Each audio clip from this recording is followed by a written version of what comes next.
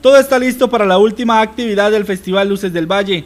A partir de las 6 de la tarde dará inicio la carrera infantil impulsada por Copia Alianza y que contará con la participación de 200 niños.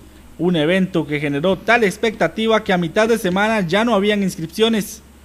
Para las 7 de la noche se tiene previsto el inicio de la carrera nocturna. Para este año se contará con la participación de 700 atletas. Eh, sí, bueno, eh, oficialmente ahorita arrancamos ya pues, la actividad final de todas las actividades que comprende el Festival Osos del Valle.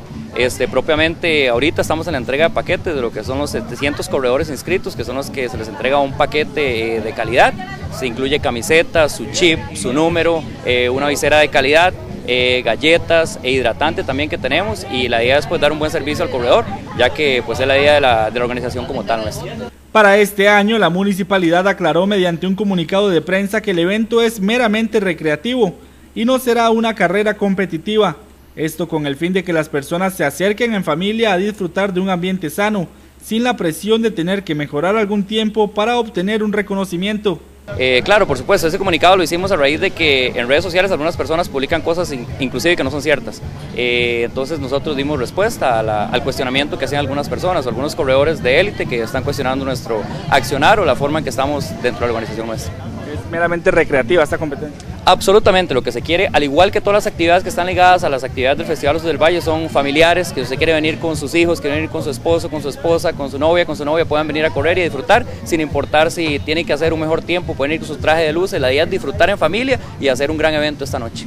Quienes obtuvieron su paquete de competencia dicen estar muy emocionados por el inicio de la carrera, la cual catalogan como una de las mejores de la zona. Por eso mismo también, el recorrido también es muy bonito y y por la cantidad de gente también, a la que son 700 personas y muy pocas carreras aquí, perdón, en el cantón es de 700 personas. Eh, bueno, esta es mi segunda edición, eh, la carrera, el segundo año, este, muy bonito, bueno, primero que todo, este, siempre me ha gustado correr mucho, participar, eh, ese ambiente deportivo, es muy bonito vivirlo, correr, ¿verdad? Y va a estar muy bonito. Esta es la tercera nocturna, eh, no, como siempre espero, igual de bonito. Eh, el clima, ojalá que no llueva, ¿verdad? Y no, no, esperar a hacer el mejor tiempo que se pueda. Para que usted lo tome en cuenta, a partir de las 2 de la tarde se realizarán cierres en las cercanías del parque y algunas de las vías de Pérez Celedón.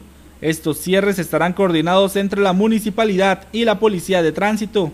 Sí, bueno, eh, a las 2 de la tarde se ha previsto hacer el cierre parcial de vías para lo que son colocación de metas, valla y todo lo demás. A las 6 damos inicio con lo que es el, evento de carrera para niños y a las 7 y 15 arrancamos, con el gran evento que es la carrera de adultos que comprende 10.5 kilómetros aproximadamente. Sí, se van a tener controles aleatorios con lo que es el tema de la, de la carrera. Básicamente igual, municipalidad como comité organizador va a poder exponer ahí el tema de los cierres de vías y demás. Eh, tránsito y va a apoyar todo lo que es el tema de la carrera como tal para que se cumplan los requisitos de seguridad y, se le dé la seguridad a los, tanto a las personas que participan del evento como a los usuarios que tienen la obligación de transitar por esos lugares. Durante la carrera se realizarán rifas de productos entre los participantes a fin de que todos tengan oportunidad de ganar.